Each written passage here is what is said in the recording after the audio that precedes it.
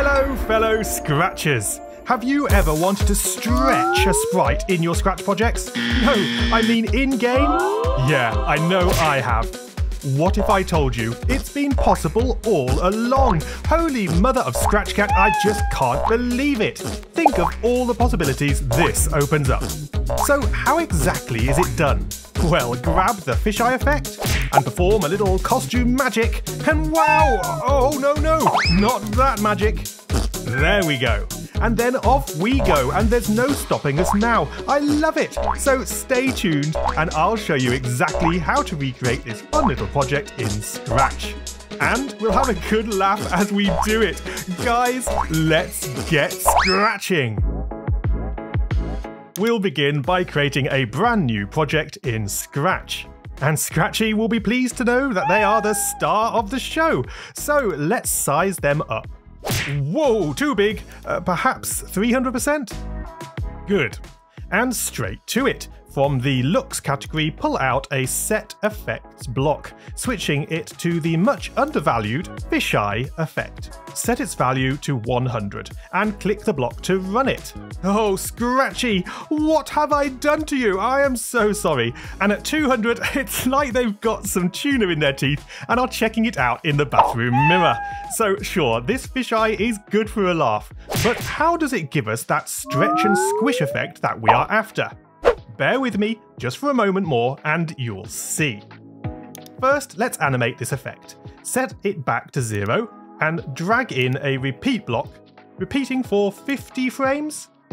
Then, rather than setting the effect, we'll use a change block instead. Change fisheye by a value of 10. Click the code to run it, and watch old Scratchy inflate like a balloon. Now, to bring things back to normal, duplicate the repeat script and this time change the fisheye by negative 10, minus 10. This makes the animation play forwards and then backwards again. Therefore, this would look great looped over and over again.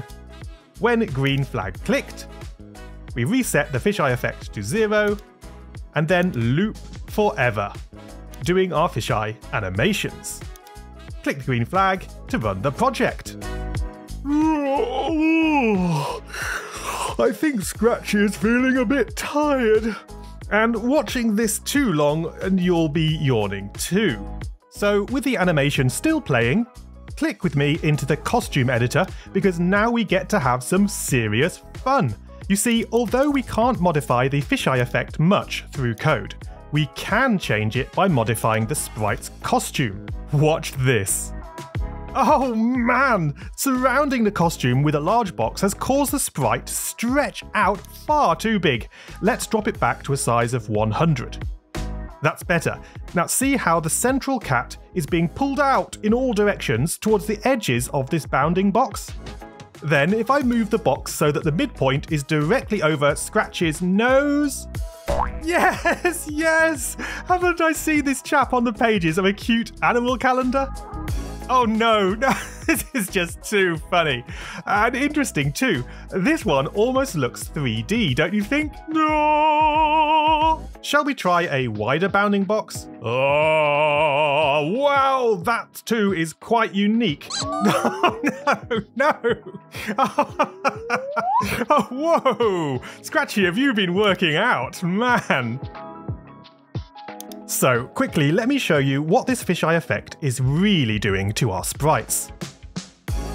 Here it is applied to a nice grid, and the middle expands hugely, and all other content is pushed outwards towards the edges. But look at this area down here. Do you see how it is being squashed vertically? And the closer we go to the bottom, the less warping we see. Are you thinking what I'm thinking? So, starting again, drag out a rectangle from the very bottom left corner of the outer drawing canvas, holding shift to ensure we get a perfect square, not a rectangle, and then draw it out to almost fill the entire width. Then, using the selection tool, grab our square by the edge and move it upwards until the bottom line touches the feet of our scratch cat. And there, do you see what is happening? Scratch Cat is shrinking vertically down towards their feet with very minimal warping to be seen. Uh, let's just set the outline colour of the bounding box to transparent.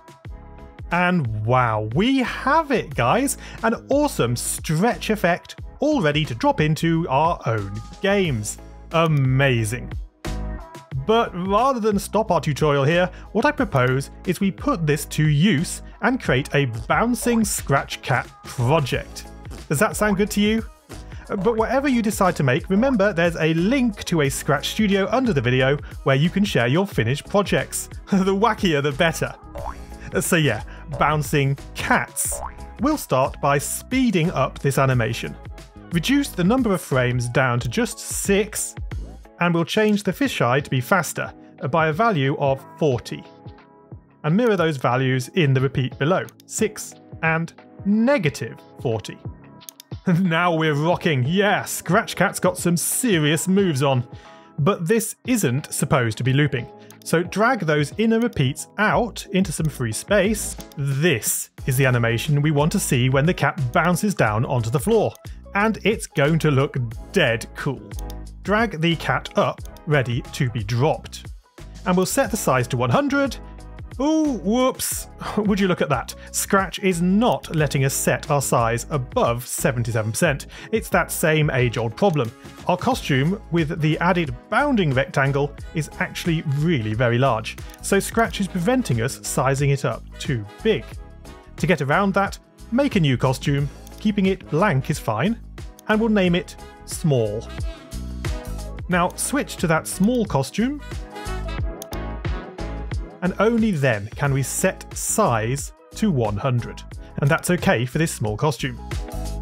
Before cunningly switching back to our larger costume 1, that's our cat. Excellent. Pop that at the top of the scripts and click the green flag to see the size finally restored to that 100%. Nice. Finally, we can drop in a go to XY to ensure Scratchy is reset to the position when the project begins, and I'll just round these figures to 0 and 100 for neatness. Great! So now for the fun bit. We'll add some simple gravity. In the forever loop, change y by negative 10, so that they get pulled downwards at a constant rate. Right off the bottom of the screen. Okay, that's too far. To bring them to a stop, we need an if less than if the y position is less than 0, then we can set y position back to 0. That will stop them ever getting below the middle of the screen. Once you've given that a run through, Scratchy will be sitting on an invisible floor. All very nice, but I would like to see that floor for real, so click into the stage backdrop sprite and enter the backdrop editor. Now pick your favourite colour, and then using the rectangle tool, drag out a new rectangle to cover the bottom third of the canvas. Oh man, that was so close to being the exact size we needed. Ha! You see, we want it to be as close to their feet as possible. So just drag the top handle of the rectangle up and down until you get it just right on the stage. There we go. Perfect. And they will fall back to the same spot every time. Now, this simple form of gravity isn't enough to create a good bounce effect. For that, we need the cat to accelerate towards the ground, and for that, we need a variable. But not this one. Delete. Okay, make a new variable, naming it speed y. And we'll make it for this sprite only. This will keep track of how fast this cat is falling set it to 0 before our forever loop begins. And then, to model the pull of gravity downwards, we change speed y just before the change y block by negative 1, a downward force. And now we can replace this negative 10 with the value of our speed y variable. Cool stuff. Smash that green flag, and the funny thing is, we are so used to seeing gravity that it's hard to even notice that this is working any different. But compare it to what we had before, and you will really see the difference. Better still, let's have them bounce back up again when they hit the floor. after the set y to 0, we also then set speed y to 15. That should send them shooting back upwards again after they've hit the floor.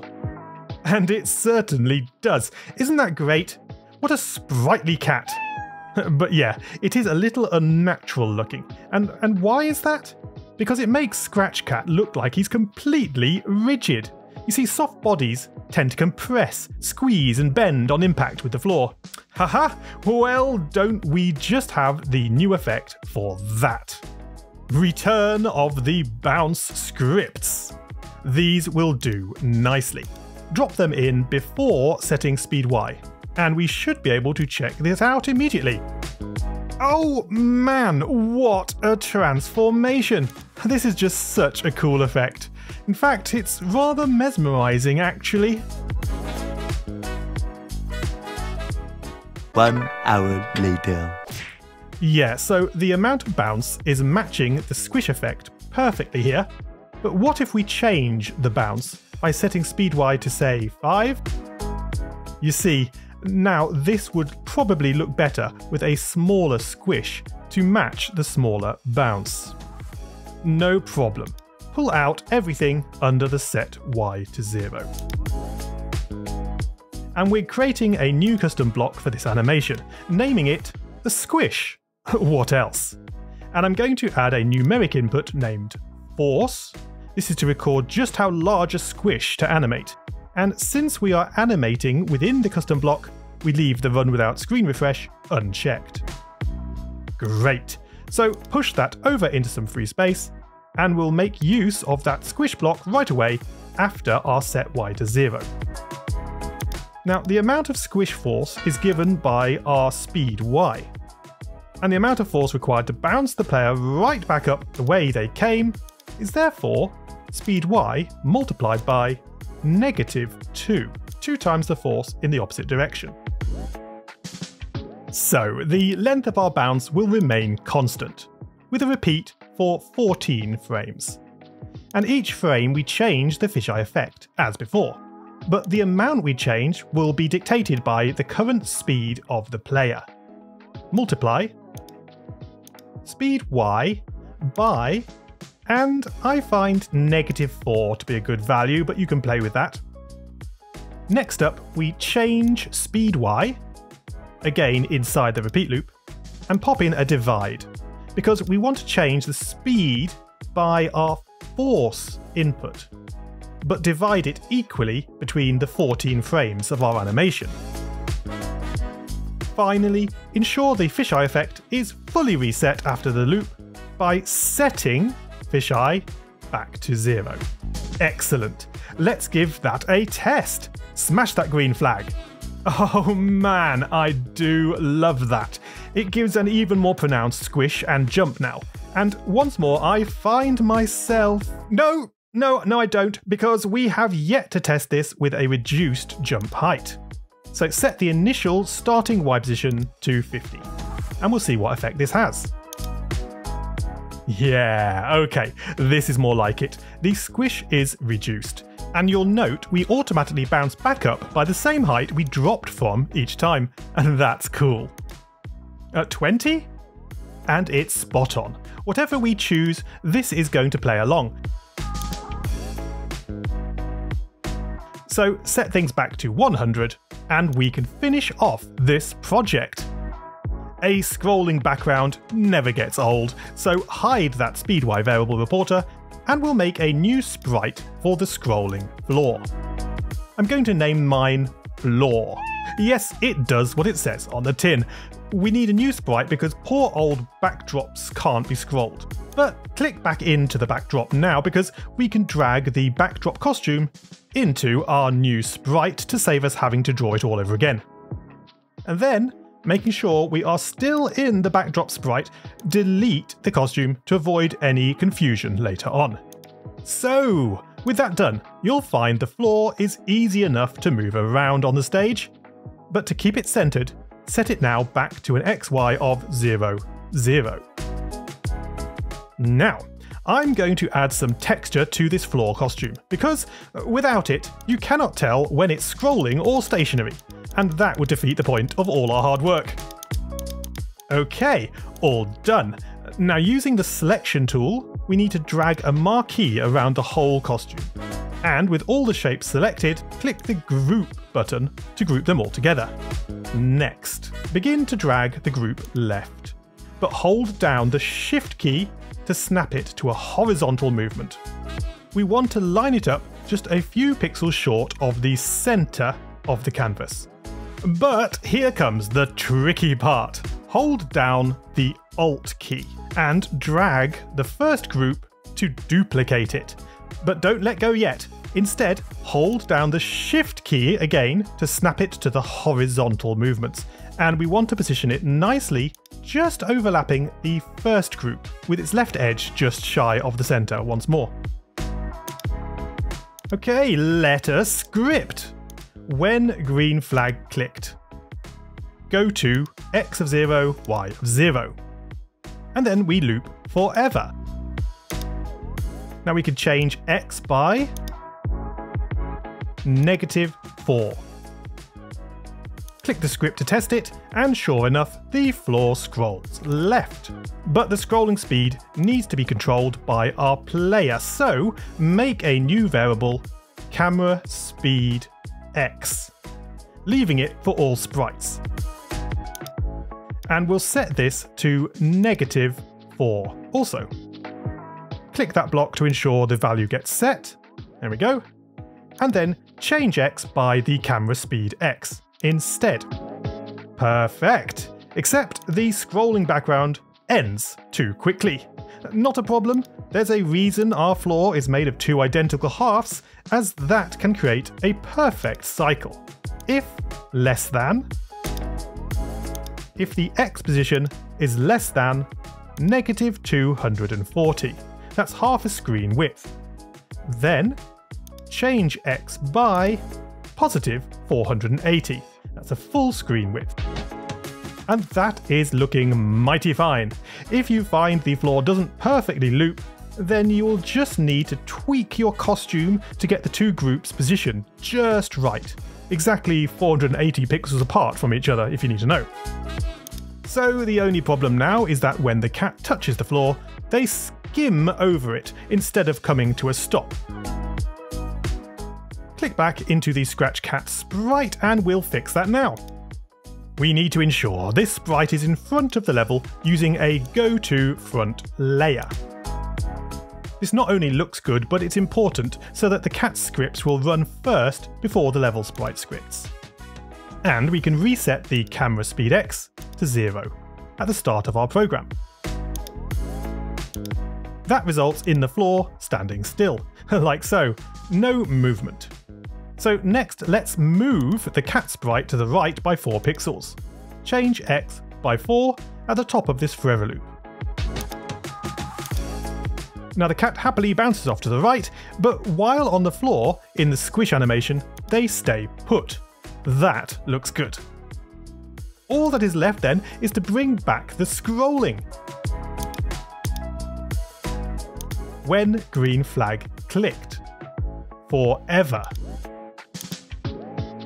and we set camera speed X to a multiply block. We want the camera to gradually follow the player, so we'll use the X position of the player multiplied by negative 0.1. And it's negative because, well, I should have really flipped the direction in the floor sprite. Sorry about that, but never mind. Lastly, we must scroll our player too. So change X by and drop in the same camera speed X. Excellent. Run the project.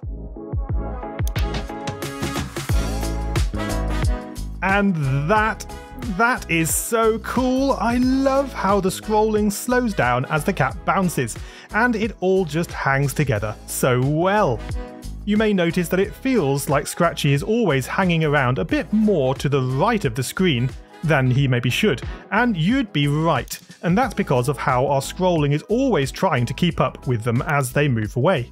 But we can fix it by summing the cat's X position with an offset, say 100.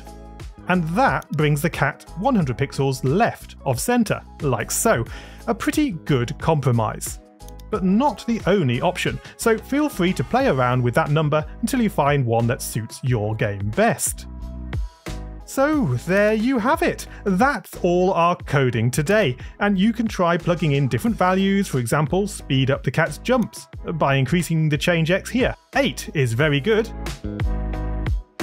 And 18? Woohoo! This would look very fine with a frog sprite, don't you think? You know, I really hope you will take this project and do something amazing with it. As always, there is a Scratch Studio linked under the video for you to submit your squishy projects, and this time it can be anything that makes use of this effect, not just a bouncing Scratch Cat, Frank, or Penguin. Knock yourselves out and create something unique to show off. I can't wait to see what you come up with. Well, I do hope you enjoyed this video. If so, then please smash the like button to show me your support. And don't forget to subscribe to the channel and check that bell icon to be notified of my next exciting video the moment it drops. And a last reminder, if you want to get any Griffpatch merch in time for Christmas, then you must get your orders in very soon. Time for delivery is getting short. Well, that's it for today. Thank you for watching have a great week ahead, and scratch on, guys!